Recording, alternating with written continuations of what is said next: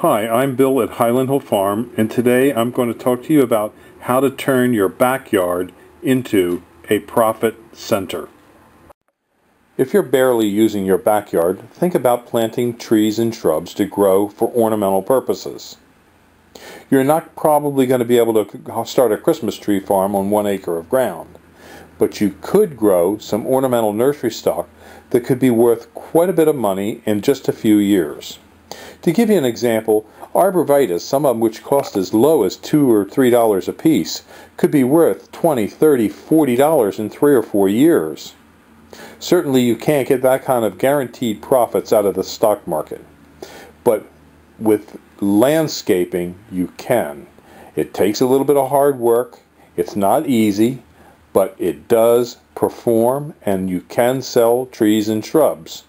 Most ornamental nurseries start with a mom and pop organization and over years build up into a real large nursery.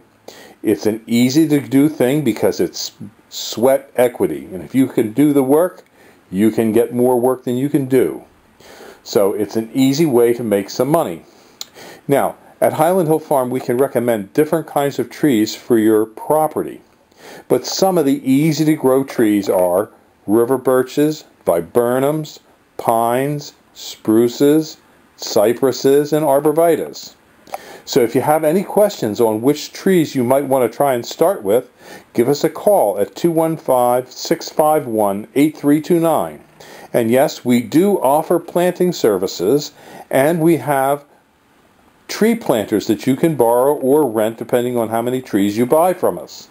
And I will show you how the tree planters work in the rest of this video so that you can see how simple it is to plant a lot of trees in a small area quickly that will grow to make you a lot of money. And if you need help, just give us a call because we're here to help you. 215 651 8329. Thank you.